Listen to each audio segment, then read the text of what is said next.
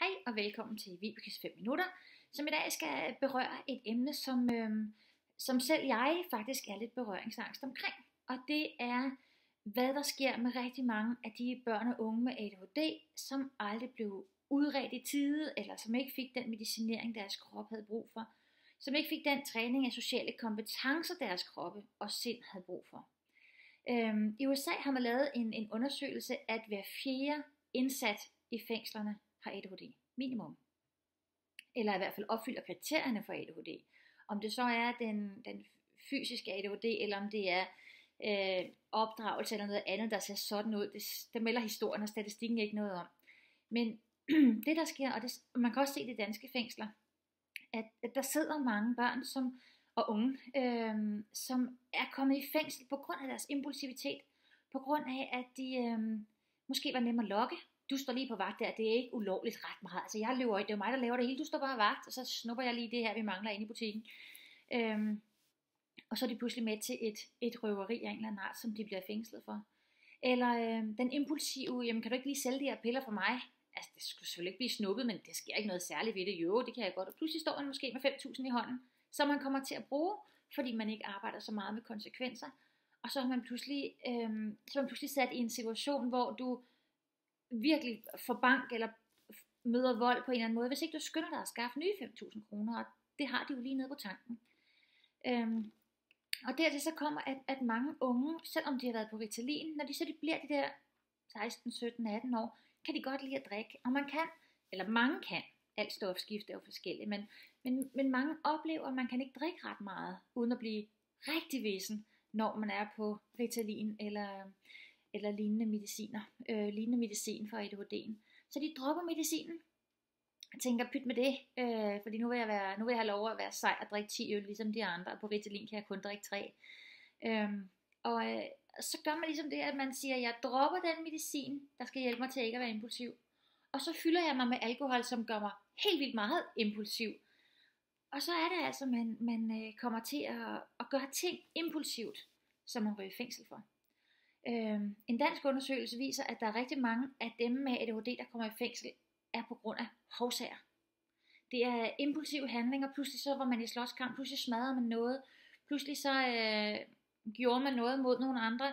Øh, impulsive hovsager, som, øh, som ligger et kæmpestort øh, ansvar, synes jeg, på os som skolelærer, og som forældre, og som familie i det hele taget, eller pårørende, ligger et stort ansvar på vores skuldre, fordi hvem skal forebygge det?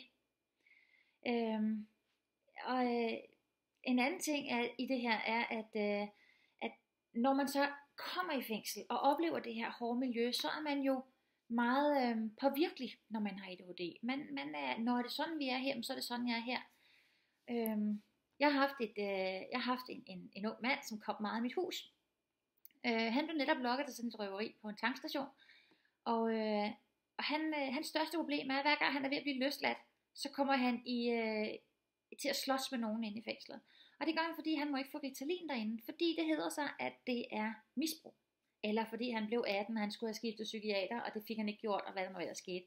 I hvert fald var der en lang periode, hvor han ikke kunne få sin medicin inde i fængslet. Øhm, og så, øh, så hans, hans impulsive sider, de forstærkede hele tiden, de forlænger hele tiden hans fængselsstraf. På trods af, at han bare stod vagt ved en tankstation. Så, øhm, så vi skal vi skal virkelig arbejde med det her med vores, med vores børn og vores unge. Og jeg kan godt blive bekymret øh, i de her inklusionstider, fordi hvem skal det? Hvem skal lære vores børn det? Øh, forældre, vi kan lære vores børn noget, og mange ting må vi opgive, fordi vi er jo moren eller faren, og vi kan virkelig ikke komme og blande os i den slags ting. Før i tiden, når, øh, når mange af vores børn med ADHD og autisme, de gik i specialklasser, så var der timer afsat til at lære sociale kompetencer. Men nu er der en lærer, der skal undervise 25-26 elever, og hun skal rumme 5 eller 6 eller 7 handicaps eller specielle kompetenceskrav ind i den klasse. Øhm, det er ikke længere, synes jeg, der hvor jeg kigger, muligt at rumme alt det her. Og jeg synes, vi, øh, vi kommer til at, at skubbe et bjerg foran os af, af unge mennesker, som aldrig bliver forstået, og som søger et venskab der, hvor man er okay, øh, ligegyldigt hvem man er, jeg snakkede med en, en pige, som var kommet i hasmisbrug, og hun sagde, jamen, det er kun, når vi alle sammen er skæve, jeg føler, vi er lige, for jeg er jo altid skæv. Men når de andre også er skæve, så er det ligesom, så passer vi bedre sammen. Og hvor er det forfærdeligt.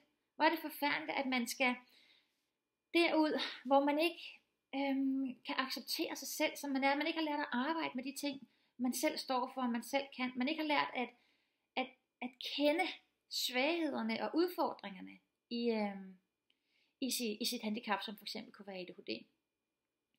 Så, øh, så jeg vil bare øh, dele mit lille hjertesuk, for jeg synes det er helt forkert. Jeg synes det er helt forkert, at, at man ryger i fængsel, fordi man har et handicap. Øh, jeg synes det skulle være grebet ind lang, lang, lang tid før. Det ville jo også være meget billigere for politikerne at satse, ind, eller satse der, end at satse på at holde dem i fængsel. Og dig, som har ADHD og som er impulsiv, der vil jeg bare give et lille godt råd, og det er, at du finder en god ven, som er god til at tænke og god til at tælle til 10. Og inden du siger ja til et eller andet, hvor du tænker, Åh, det lyder sejt, så spørger du lige ham eller hende. Det, er, øh, det kan være med til at redde dit liv. Øh, hej for mig.